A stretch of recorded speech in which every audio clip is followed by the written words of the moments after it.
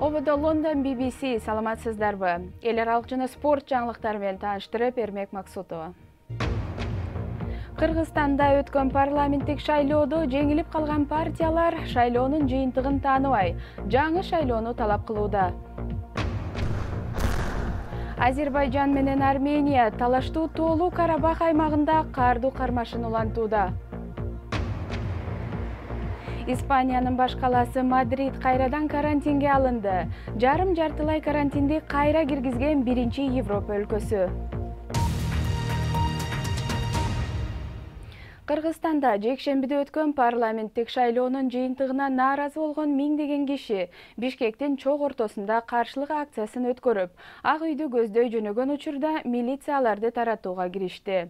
Азырынча шайлоонун жыйынтыгы толук чыга элек бшкнын алдын ала кол менен эсептелген жыйынтыгына ылайык беш партия жети пайыз босогодон өттү.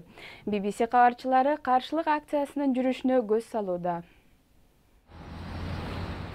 Эл аралык байкоочулар кыргызстандагы парламенттик шайлоодо олуттуу кемчиликтер болгонун белгилешти. Байкоочулардын бир тобу ал кемчиликтер шайлоонун жалпы жыйынтыгына таасир бербейт дейт. Ал эми эккнун миссиясы добуш сатып алуу боюнча айыптоолор олуттуу тынчсызданууну жаратканын жарыялады. Дал ушул добуш сатып алуу жана форма эки документи менен шайлоочулардын көчүп добуш бергени эң чоң көйгөй болгону айтылууда. Сык шайлоону тааныбаш керек.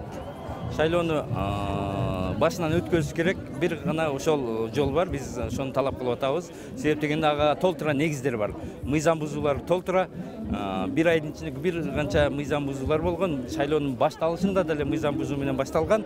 И мына аягы дагы ушул элдин толкундоосуна алып келди. Бул жерде жалгыз бир партия эмес. Бул жерде он он партия. И жалпы эл э, көтөрүлүп атат. Борбордук аянтка кылкылдап топтолгон күчтөр мөөнөтсүз каршылык акциясын жарыялашты. Бшкнын маалыматы боюнча бул жолку шайлоодо төрт жүз кырк миңден ашуун жаран өзү катталгандан башка жерден барып добуш берди. Бул мыйзамдуу болгону менен капчыктуу партиялар жана бийлик мыйзамдагы дал ушул жылчыкты өз кызыкчылыгына пайдаланды деген ачуу сындар айтылууда. Bbc нааразы тарап коюп жаткан талаптар жөнүндө бийликке суроо узатты. Бул маселе боюнча э, биз өкмөт э, ачыгын айтканда баа бере албайбыз. Э, себеби дагы бир жолу кайталап коеюн. Бул шайлоонун жыйынтыгынын таанылышы же жана башка кандайдыр бир кемчилдиктер же мыйзам бузуулуктар фактыларынын аныкталышы бул борбордук шайлоо комиссиянын негизи ыйгарым укугуна кирет. Ошондуктан биз азыр алдын ала бир тыянак чыгаруудан алыспыз. Кандай болгон учурда дагы борбордук шайлоо комиссиясынын акыркы чечимине күтө турганыбыз туура болот. Бул жолку шайлоо пандемия шартында өттү. Атайын санитардык эрежелер коюлганына карабастан алар баардык жерде эле толук сакталган жок. Шайлоочулардын добуш берүүдөгү активдүүлүгү элүү алты пайызды түздү. Алдын ала эсептөөлөр боюнча жарышка түшкөн он алты партиянын ичинен жети пайыздык чекте төрт партия өттү. Улуттук шайлоого биринчи жолу катышкан биримдик жана мекеним кыргызстан партиялары алдыга чыгышты. Ошол эле убакта көптөн бери элге таанымал партиялар ата мекен республика жана бир бол керектүү сандагы добушту топтой албай калганы талкууга жем таштады. Натонун баш катчысы йенс столтенберг талаштуу аймак тоолуу карабахта тез арада ок чыгаруу токтотулушуна үндөдү. Армения менен азербайжан ортосундагы жаңжалда кеминде эки жүз элүү киши курман болду. Армениянын бийлиги степанакер шаарына ракета чабуулу болгонун билдирди. Азербайжандын коргоо министри армения тараптан азербайжандын экинчи ири шаары деп эсептелген ганжа шаарына да кол салынганын айтты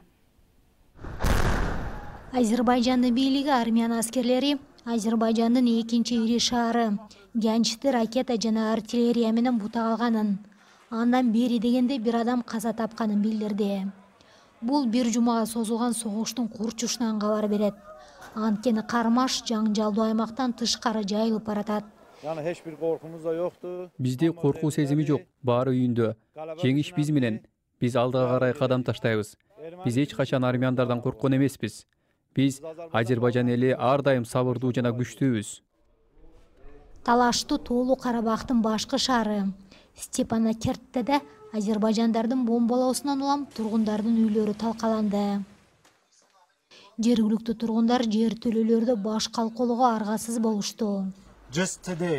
Бүгүн эле азербайжан карабахтын борбор шаары степанакертке катуу чабуул баштады жайкын тургундардын үйлөрүн ракета жана артиллерия менен анын ичинде кластердик бомба жана кластердик ракета менен бутак алды. Натыйжада бизде көптөгөн жарандык жоготуулар бар. Түркия толук карабахты кайтарып алуу кармашында азербайжанды колдоону улантууда стамбулда эл азербайжанга колдоо көрсөтөрүн билдирүү үчүн чогулушту шейттерибизге баш салды. Жаңжалдан каза тапкандарга жана алардын үй бүлөлөрүнө көңүл айтам. Бирок алардын каны ал жерде калбайт.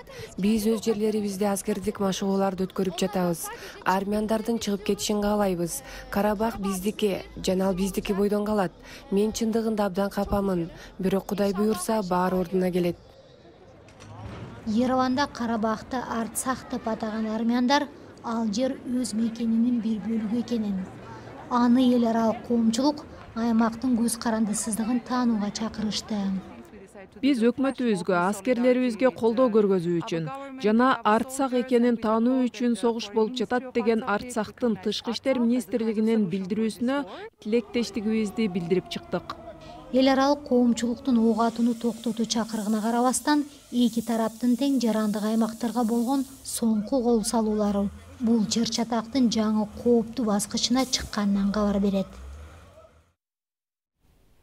Bbc кыргыз кызматынын берүүсүн көрүп жатасыздар жаңылыктар менен тааныштырууну улантабыз дүйнөлүк саламаттыкты сактоо уюму пандемия тууралуу жана дүйнө коомчулугунун ага каршы көргөн жообун талоого алган жыйынын өткөрүүдө. Айтылган уюм пандемияга каршы көргөн өзүнүн чараларын да тергөөгө алууну буйрук берди. Трамп администрациясы уюм дүйнө жүзүн бул илдет тууралуу эскертүүнү кечиктирген деп айыптаган гепатит с вирусун таап чыккан үч окумуштуу эки миң жыйырманчы жылдын медицина боюнча нобель сыйлыгына ээ болду. Сыйлыктар британиялык майкл хофтон жана америкалыктар харви алтер менен чарльз райска ыйгарылды. Миллиондогон кишилердин өмүрүн сактап калган ачылыштын натыйжасында үч окумуштуу илдеттин андан ары таркашын токтотуп жана ага каршы дарыларды да таап чыккан. Соңку бир аптанын ичинде акшнын тогуз штатында коронавирусту жуктуруп алгандардын саны кескин өстү. Өлкөнүн түштүгүндөгү кентакиде өткөн аптада эң көп учур катталды. Чектөөлөр сакталбай мектептер менен башка окуу жайлары кайра ачылганы экинчи толкунга түрткү болуп жатышы мүмкүн. Ел университети кадимки сасык тумоо коронавирусун жуктуруп алуудан утурумдук коргойбу деп деген суроону иликтеп көрөт. Адамдын денеси коргонуу иретинде сыркоолорго каршы интерферон деп аталган белокторду чыгара баштайт. Окумуштуулар адам интерферонду чыгара баштаса ковид он тогузга каршы туруштук бере аларын же жоктугун иликтейт ковид он тогуздан дарыланып жаткан президент трамп госпиталдан унаасы менен чыгып оорукананын жанына чогулган тарапташтарына кол булгалады. Бирок айрым медициналык эксперттер бул кооптуу экенин айтып аны сындап чыгышты. Өлкө башчыны дарылаган доктурлар президент жакшы сакайып жатканын жана жакынкы жыйырма төрт сааттын ичинде ооруканадан чыгышы мүмкүн экендигин айтты акш өкмөтүнүн медициналык адистери коронавирус жуктурган бейтаптарга өз бөлмөлөрүнөн чыкпоого кеңеш берет. Медициналык жактан зарыл болгон учурда гана сыртка чыгууга мүмкүн экендигин айтышат. Бирок бул бейтапка эмес. Бет кап кийген жашыруун кызматтын агенттеринин коштоосунда президент трамп уолтер рид медициналык борборунун айланасында унааны жай айдатып үч күндөн бери оорукананын сыртында турган тарапкерлерине кол булгалады ал аларды өлкөнүн патриоттору деп айтты. Президент өзү бет кап кийгени менен колдоочуларынын айрымдары гана маска кийишкен трамп твиттер баракчасы аркылуу аны даарылап жаткан дарыгерлерге ыраазычылыгын билдирген соң тамаша иретиндеги сөзүн да айта кетти бул абдан кызыктуу сапар болду ковид жөнүндө көп нерсе билдим мен аны чындыгында мектепке баруу менен билдим мен аны жакшы түшүндүм анын медициналык тобу акыркы күндөрү президенттин канындагы кычкылтектин деңгээли эки эсе төмөндөгөнүн жана ага өтө оорлуу адамдарга гана сунушталган стероид бергенин тастыкташты. Алардын маалыматтары ак үйдүн маалыматтары менен кандайча карама каршы келгендиги тууралуу. Президенттин жеке дарыгери бейтаптын абалын атайлап жакшыртып айтканын мойнуна алды. Мен команданын президенттин аны ууруп жаткан учурундагы көтөрүңкү маанайын чагылдырууга аракет кылып жаттым. Мен оорунун жүрүшүн башка нукка бурган маалымат бергим келген жок ошондуктан биз бир нерсени жашырууга аракет кылгандай болуп калдык. чындыгында президентти спид сыяктуу ооруларды дарылаган дары дармектер менен дарылап жатышты. Алардын арасында британияда сыналган стероид дексамитазон бар. Бул иммундук системаны гана тынчсыздандырган дары. Бирок ковид он тогуздун жеңил формасына кабылган бейтаптарга сейрек колдонулат. Президент вируска каршы ремдесивир дарысын ичип жатканына карабастан анын дарыгери ооруканадан бүгүн чыгышы мүмкүн экендигин айтты. Президент ковид он тогуз вирусу эмне экенин түшүнүп жаткан чакта анын демократ атаандашы виртуалдык үгүт ишин улантууда. Дональд трамп менен дебат сахнасында токсон мүнөт чогуу болгон джо байден дебаттан беш күн өткөндөн кийин вируска каршы тест тапшырып анын жыйынтыгы терс чыкты испаниянын баш калаасы мадрид кайрадан жарым жартылай карантинге алынды. Европада илдетти жуктуруп алгандардын саны боюнча экинчи орунда турган испанияда чектөөлөрдүн экинчи ирет киргизилиши тургундарды нааразы кылууда. Испаниянын баш калаасында ар бир өкмөт ар бир окумуштуу кооптонгон ковид он тогуз кайра күчөп жатат. Күн сайын он миңдеген жаңы учурлар катталып өлкөнү экинчи толкун каптагандай жандандыруу бөлүмдөрү толуп ооруканадагы ашыкча керебеттер кайрадан колдонулууда. Бүт жерде эскертүү берилүүдө. Психологиялык жактан бул начар көрүнүш. Анткени адамдардын баары оору кайра күчөп кетеби деп кооптонуп турат. Башка көптөгөн өлкөлөр сыяктуу испания дагы илдет тарап жаткан аймактарды көзөмөлгө алууга аракет кылууда. Бирок мындай чаралар ишке ашпай келди эки жүз миңдей калкы бар мадриддин ушул сыяктуу бөлүгүндө буга чейин эле эки апта чектөөлөр киргизилген болчу. Вирустун экинчи толкуну мурдагыдай оор абалга жете элек бирок мадридде төрт адамдын биринде ковид он тогуз аныкталууда. Испания жакынкы апталарда британия сыяктуу өз эрежелерин киргизди. Ага ылайык алты адамдан ашык чогулууга болбойт. Кафе барлар болсо кечки саат ондо жабылат учурда дагы көптөгөн аймактарга чектөөлөр киргизилди. Биз баарыбыз поезддерге метро жана автобустарга тыгылып жумушка барып жатабыз. Алар көзөмөлгө албаганы үчүн илдет күчөп жатат.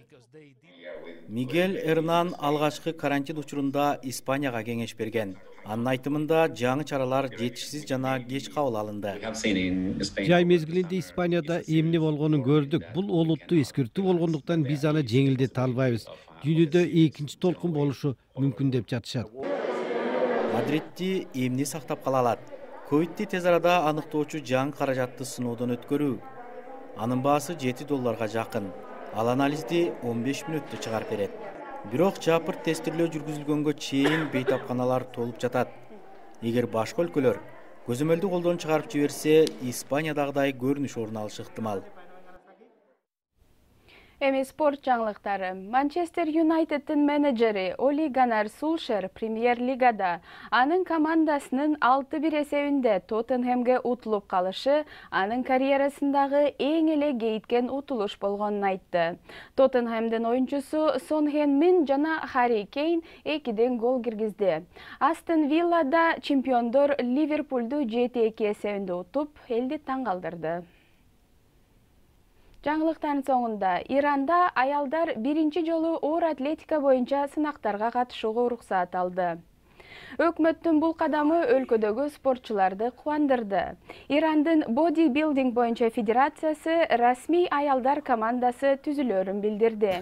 Иранда оор атлетика менен алектенген аял спортчуларга акаарат келтирген сөз ой пикирлер көп айтылат бул жана башка жаңылыктар азыр интернет сайтыбыздын башкы бетинде турат. Дарегибиз bbc кыргыз чекит ком сайтыбыздан жаңылыктарды окуп радиобузду да уксаңыздар болот.